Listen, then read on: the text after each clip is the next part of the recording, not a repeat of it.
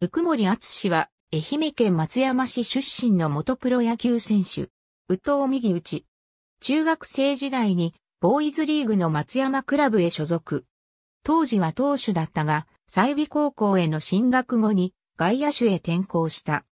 高校3年時の2004年には4番左翼手として春夏連続で阪神甲子園球場の全国大会に出場。いずれもチーム史上初めての出場だったが、春の選抜大会優勝、夏の全国選手権大会準優勝に貢献した。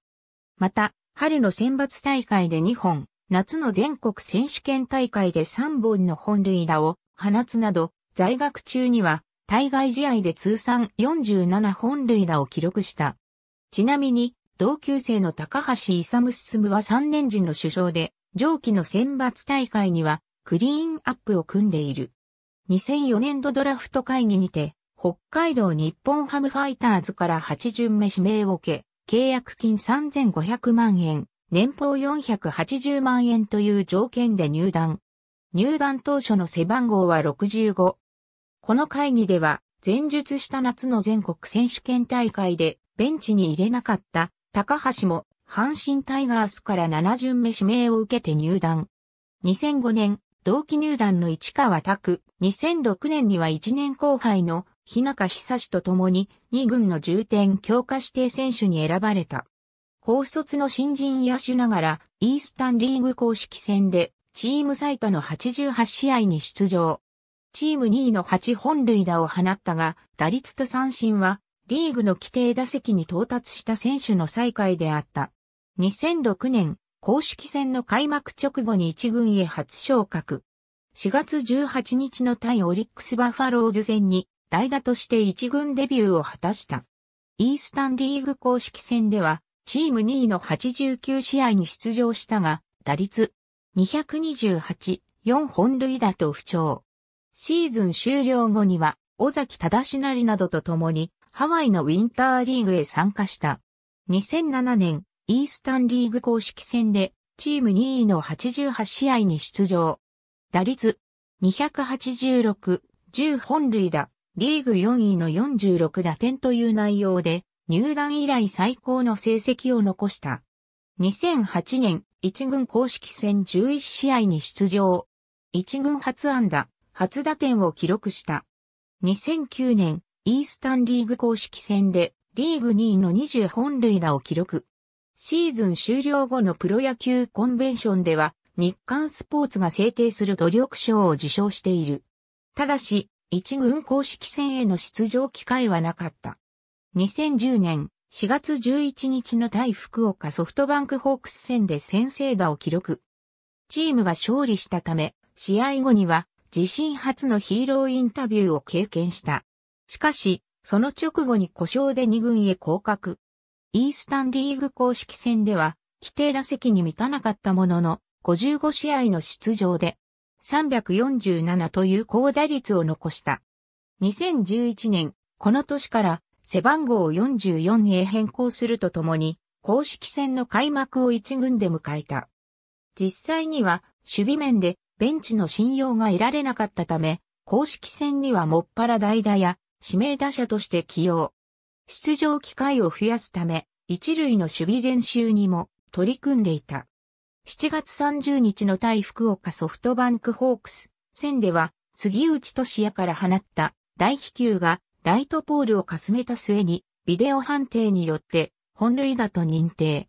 この認定によって、一軍での初本塁打を記録した。2012年、イースタンリーグ公式戦への出場選手で、唯一の二桁本塁打を記録した末に、リーグ本塁打王のタイトルを獲得。一軍公式戦でも、7月26日の対、ソフトバンク戦で2打席連続本塁打を記録すると、3日後の対オリックスバファローズ戦、第1打席でも本塁打を放った。27日と28日は、試合に出場していないため、結果として事実上の3打席連続本塁打になった。2013年、1軍公式戦22試合。2014年には24試合に出場。いずれの年にも1打点を挙げたが、本塁打を放てなかった。2015年、イースタンリーグ公式戦73試合へ出場するとともに、自身3年振りの10本塁打を記録。しかし1軍公式戦3試合の出場で無安打に終わると10月2日に球団から戦力外通告を受けた。ただし、現役続行の意向を示したことから、通告後の秋季キャンプには、球団の計らいで、打撃、守備練習への参加を認められた。2015年11月10日に、12球団、合同トライアウトへ参加。シートバッティング形式による7人の投手との対戦で、7打数に安打1、2塁打という結果を残した。この結果を受けて、東京ヤクルトスワローズは11月13日に、ウクモリの獲得で合意に達したことを発表。ウクモリ自身も、故郷、松山市内の坊ちゃんスタジアムで実施されていた、秋季キャンプに、11月15日から合流した。背番号は91。2016年、開幕1軍入りを果たすと、開幕5戦目にあたる3月30日の対、阪神タイガース戦で移籍後初めてスタメンに起用。4回裏の第2打席で、岩田実から勝ち越しのソロ本塁打を放ったことによって、開幕戦からのチームの連敗を読んで止めることに貢献した。この一打は、一軍公式戦における自身4年振りの本塁打で、同球場におけるチームのシーズン公式戦初本塁打でもあった。以降の一軍公式戦でも左投手の先発が予告された場合のスタメンや、左投手に対する代打として随時出場。甲子園球場におけるプロ入り後初の公式戦であった8月27日の同カードでは、5番、右翼手としてスタメンに起用されると、3回表の第2打席に、岩崎優から1軍公式戦で、初めての満塁本塁打を放った。さらに、第3打席で敵地打を放ったことによって、一軍公式戦では、自身最多の1試合後打点も記録した。一軍公式戦全体でも、プロ入り後最多の46試合に出場。自己体記録の4本塁打を放ったほか、打率257、自己最多の19打点という成績を残した。2017年、前年に続いて、公式戦を一軍でスタート。4月2日には、横浜 DNA ベイスターズとの開幕カード第3戦に4から4の延長10回裏、一四満塁から代打に起用されると、須田光太からサヨナラ満塁本塁打を放った。NPB の一軍公式戦で代打サヨナラ満塁本塁打を記録した選手は史上16人目。ヤクルトでは岩下正明に次いで2人目だが、開幕カードで記録したのはウモリが NPB 史上初めてである。さらに、10日後に同じ神宮球場で催された対中日ドラゴンズ戦でも9回裏に代打でサヨナラ安打を放った。一軍公式戦全体では前年とほぼ同じ45試合の出場ながら代打が中心の起用だったため打席数が減少。本塁打は前日した1本のみで打率は206、打点は7にとどまった。2018年、公式戦の開幕を一軍で迎えると、開幕から代打中心の起用で3割以上の打率をマーク。松山坊ちゃんスタジアムで4月25日に催された大阪新戦では3点ビハインドながら9回裏に C1.2 塁の局面で代打に起用されると、両親が見守る前でラファエル・ドリスから適時打を放った。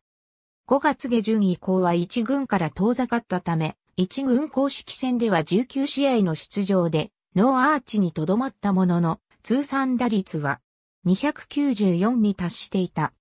シーズン最終盤の10月2日に、自身2度目の戦力外通告を受けたが、野球人生をやりきりたいとの意向が強く、11月13日に12、球団合同トライアウトへ再び臨んだ。結果は4人の投手に対して無安打で NPB 他球団から獲得のオファーを受けるまでには至らず、12月21日に現役引退を表明。2019年からはソニー生命の営業職員へ転身する。ウクモリによれば、2015年の12球団合同トライアウトで人材発掘を目的に草薙球場へ出向いていた同社の関係者へヤクルトからの戦力外通告後に改めて話を聞いた上で現役引退と入社を決意したという。うくもりの前には、元ロッテの青松隆怒りや、元楽天の福田進にが入社しており、同い年で親しかった清少からすごくいい環境であることを聞き、これが入社の一番の決め手になったと語っている。2020年2月、今波隆弘と共に野球館やセカンドキャリアを語るトークショーが日本文芸社主催で行われた。また、同年8月、うくもりと同じく西美高校出身のお笑いコンビティモンディの YouTube チャンネルティモンディベースボール TV に出演。高校時代の思い出話を語ったトーク動画やティモンディとの野球対決動画などといった計4本の動画が公開され、スポーツ日本の YouTube チャンネルでも特別総集編が公開された。中学生時代まで本塁打を放ったことがなかったにも、かかわらず、西美高校の在学中には、対外試合で通算47本塁打を記録するほどの長距離打者に変貌した。日本ハムへの入団後は、未来の4番打者候補と目されていたが、2009年に当時の首脳陣から流し打ちの技術指導を受けた。その際にアベレージヒッターへの転向を通達されたことや NPB 球団の本拠地では最も広い部類に入る札幌ドームでの打撃練習で思うように打球を飛ばせないことから2011年頃からは中距離打者としての一軍定着を模索してきた。ヤクルトへ移籍した2016年以降は、杉村重和軍チーフ打撃コーチからの勧めで、長距離打者としての再起を期していた。プロ13年目の2017年には、5月6日の対 DNA 戦で6番、一塁手としてスタメンに起用。4回表の第2打席で指揮を選ぶと、2塁への盗塁を成功させたことによって、1軍公式戦での初盗塁を記録した。過去にもオープン戦で盗塁を成功させたことはあったが、プロ13年目での1軍公式戦初盗塁は、異例の記録で、現役生活全体でも、この盗塁が1軍公式戦で、唯一の盗塁になった。松山クラブの先輩に藤井修吾がいる。藤井は早稲田大学を経て2002年にヤクルトへ入団。2008年から2009年まで日本ハムでウクモリのチームメイトになった。日本ハム時代の2008年に利用組合北海道日本ハムファイターズ講演会と球団によるコラボレーション企画ファイターズスタイルで若手選手大賞のファン投票を経て最新ヘアデザインの同年度モデルに選ばれた。翌2009年にはファッションモデルなどの活動を展開していた4歳年上の女性と公式戦開幕直後の4月6日に結婚。2012年10月1日には双子の女児を授かっている。済美高校時代の監督だった上高聖典によれば、入学当時のウクモリは野球選手とは思えないほど送信だったという。しかし、どの高校のどの選手よりもバットを振ったと思うと上皇に言わしめるほどトレーニングや素振りへ積極的に取り組むことで長打力を開花。日本ハムへの入団が決まった後には、上皇から頑張って15年やれと激励されるまでに成長した。なお、上皇が胆道癌で療養中だった2014年9月1日には、当時愛媛県内の病院へ入院していた上皇を見舞っている。